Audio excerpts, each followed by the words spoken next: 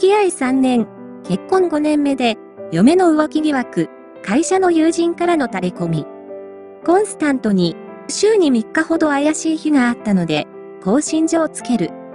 しかし、つけた途端、嫁の行動が不規則になり、複数回の浮気証拠を抑えるまでに200万かかってしまった。でも、俺的には、いくらかかっても、必ず尻尾をつかむつもりだったので、一切躊躇せず、内緒でレコーダーをセットして、嫁に浮気してるだろと追求。嫁、当然知らぬ存ぜぬ、何か勘違いしてない？の波状攻撃。めっちゃ挙動ってるくせに。平気でというか、俺に嘘をつこうとしてるその姿を見て、一気に感情が萎えた。つまり、愛情も憎しみも。俺が、お前にこんなことを言うくらいなんだから、その辺よく考えろ。と言っても、知らないの一点張り。で、証拠写真を見せた。すると、今度は卑怯だと言いやがった。何が卑怯なんだ？こんなことする前に、ちゃんと言ってくれればよかったじゃない。言ったってしらばっくれただろ。そんなことないよ。でも、お前さっき嘘ついて隠そうとしてたじゃん。お前が、さっき正直に言ってくれれば、こんな写真、見せることはなかったのに。俺、感情が復活。怒りの感情が。とにかく離婚する。待って。待たないけど言い訳は聞くよ。ほら、言えよ。違うの。違わない。寂しかったから。寂しかったら浮気してもいいのか？違うの。だから違わないって。そうじゃない。じゃあ1時間あげるから、理路整然と言えるように、隣の部屋に閉じこもって考えてこいよ。あと、携帯は回収。嫁、とぼとぼ寝室へ。俺、どんな言い訳を考えてくるのか、楽しみで仕方なかった。いや、そうでもして面白おかしく考えるようにしないと、発狂しそうだったから。30分後に出てきた嫁は、土下座して謝ってきた。ごめんなさい、言い訳はしません。何でもするので、離婚だけはしないでください。体裁？そんなんじゃない。あなたのこと愛してるから。愛してたら浮気なんかできないよね。お前の愛って定義は何？愛の意味も知らないで、そんな言葉を使うな。ごめんなさい。でも、あなたのことが好きなの、離れたくない。相手の親父とはいつから？一年前です。本当に？嘘言ってもバレるんだよ。更新状なめんなよ。本当です。その後、きっかけとか色々聞きましたけど、まあテンプレなんで省略。相手の男、今電話しろ。それはできない。なんで？奥さんも子供もいるから。だから家庭を壊しちゃうことになるからうちは壊れそうだよね。俺、自分ち壊されて黙ってるほど、お人よしじゃないよ。ごめんなさい。だけど、お前とあいつが、二つの家庭を壊したんだろう。嫁、ここで大泣き。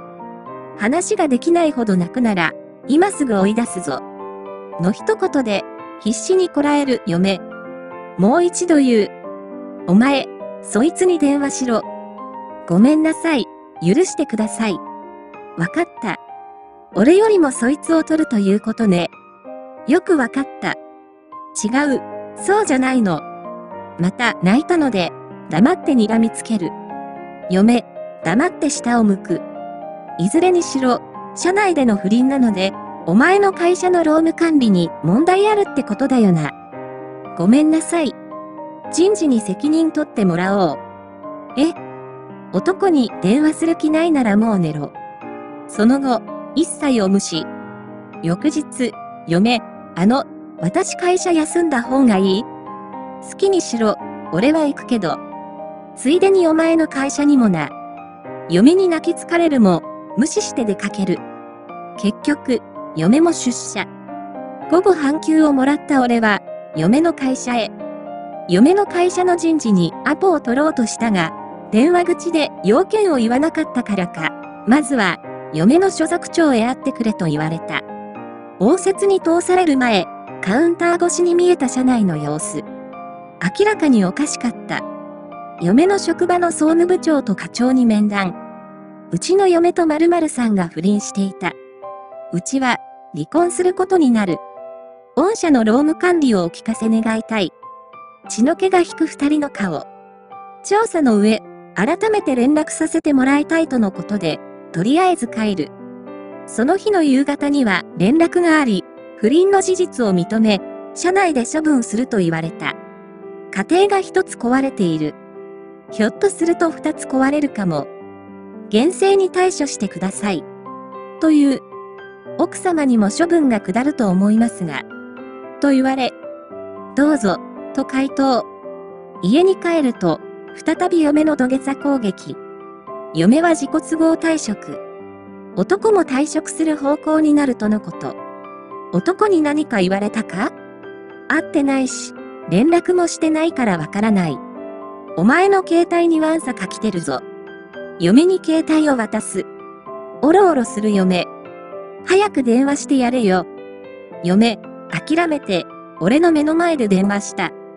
携帯からも、声が漏れるほど、興奮している様子。嫁の返答具合から、なぜバレたのか？みたいなやりとりが垣間見えた。携帯をむしり取った。嫁の旦那です。え、あわあわ。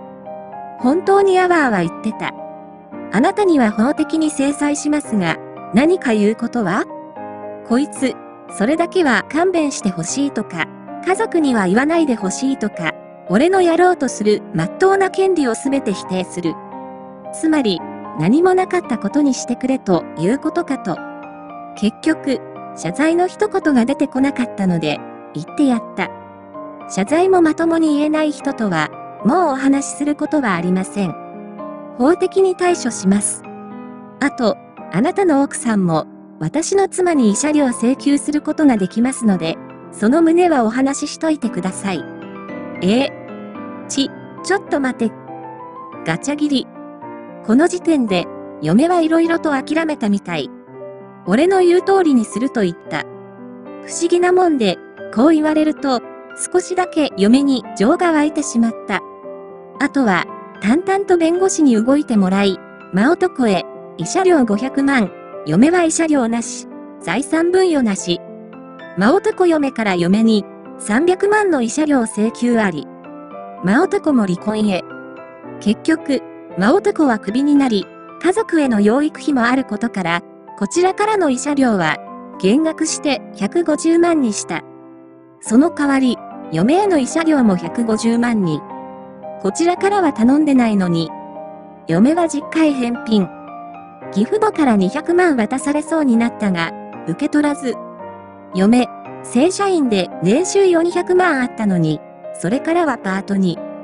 慰謝料は、親が立て替えて、親に分割返済するとのこと。厳しい親だし、嫁の下に、大学生の妹がいて、いろいろとお金かかるはずだから、間違いなく、返済はしていくものと思われる。真男は知らん。俺は、離婚が成立した後、慢性的なめまいで結構辛い日々が続いたが、2年も経つとそれもなくなった。結論から言うと赤字にはなったが、証拠をつかむまで一切妥協しなかったのが良かったと思う。あそこでケチって、更新所代金を渋ってたら、多分証拠をつかめなかっただろう。今思うと危ないくらい怒り狂ってたからね。あの時の俺は。弁護士に、せいぜい150万が妥当と言われ、それで、そんなもんかとがっかり来ていた俺に。養育費もあるみたいだから、本人は地獄には違いない。となだめられた。よく言われるけど、相手の奥と子供には罪はない。甘いと言いたい奴は言っておけって思ってます。